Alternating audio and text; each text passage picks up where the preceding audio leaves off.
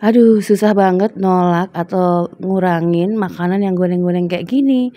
Jadi seperti hari ini nih, hujan-hujan, langsung deh membuat tahu bunting pedas isi bihun. Rendam 100 gram mihun jagung, potong kecil-kecil ya. Kita biarkan kurang lebih 10 menit dia nanti akan melembut dengan sendirinya. Lalu iris-iris 100 gram kubis atau kol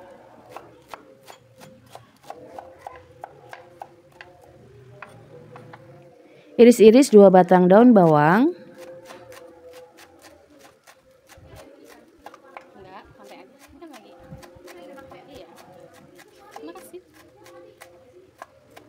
Sisihkan terlebih dahulu.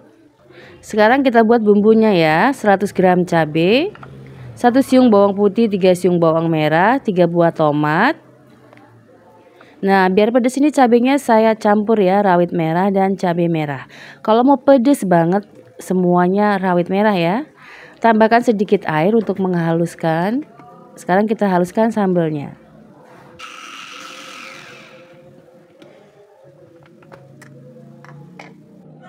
Panaskan minyak, masukkan cabai, tomat, dan bawang halus.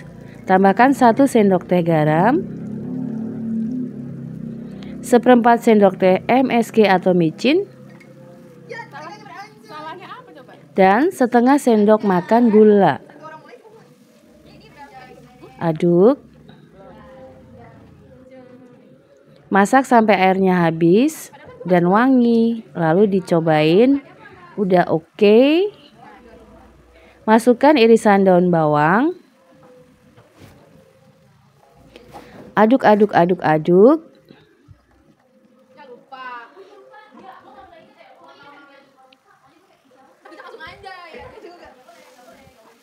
Masak sampai wangi ya.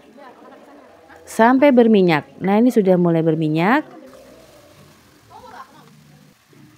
Masukkan bihun yang sudah kita rendam dan sudah pastikan ini lembut ya bihunnya ya, jangan sampai masih keras. Aduk, masak sebentar.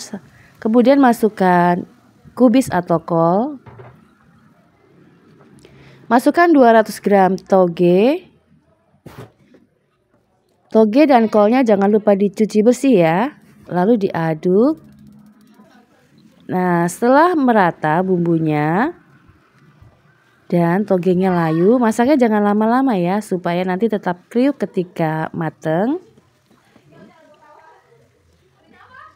Kurang lebih satu menit sejak togenya masuk ke dalam wajan, kita matikan kompor dan kita sisihkan terlebih dahulu. Sekarang kita buat tepungnya ya.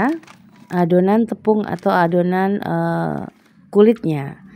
20 sendok makan tepung terigu atau kurang lebih 200 gram tepung terigu.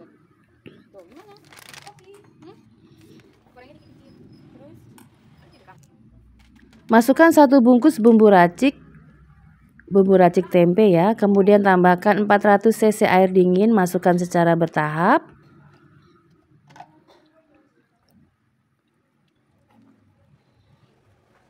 Sambil diaduk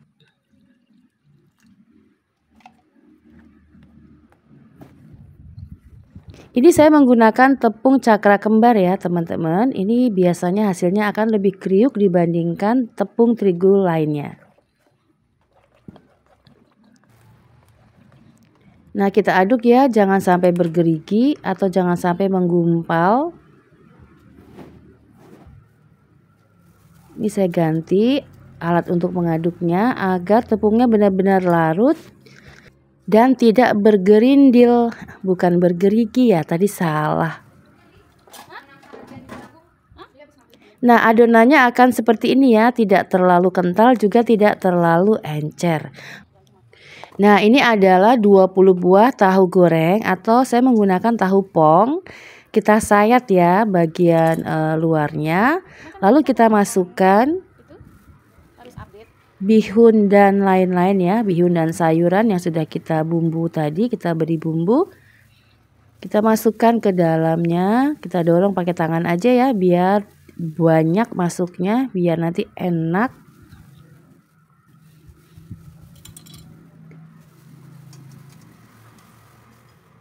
Kita masukkan. Usahakan masuk ke dalam tahu semua ya, jangan ada yang keluar supaya nanti hasilnya lebih cantik dan juga rasanya lebih mantap.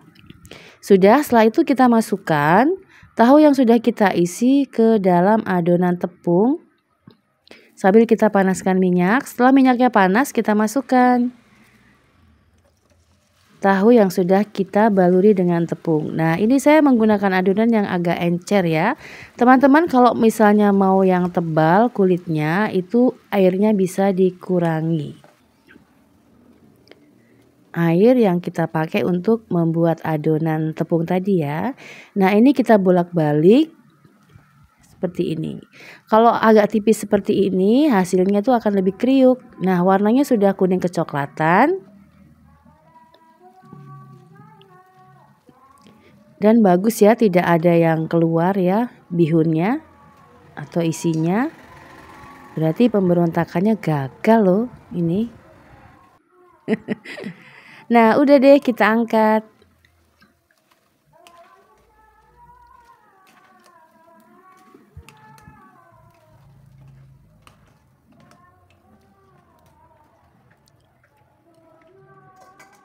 Nah, pada saat kita menggoreng yang kedua, usahakan minyaknya tuh sudah bersih ya dari remah-remah sisa gorengan tadi. Nah, ini kita masukkan satu persatu tahu yang sudah kita baluri dengan tepung terigu atau adonan tepung. Nah, ini supaya agak lebih tebal, saya siram lagi ya dengan adonan tepungnya. Hasilnya seperti ini. Ini yang gorengan pertama, ini yang kedua. Nah, ini 10 buah ya. Jadi baru separuh kita masak. Separuhnya bisa kita simpan di uh, kulkas ya, tapi nggak tahan lama. Paling besok harus sudah dimasak lagi. Nah, sekarang kita lihat dalamnya ya. Nah, seperti ini. Ini enak banget, gurih dan mantap. Selamat mencoba.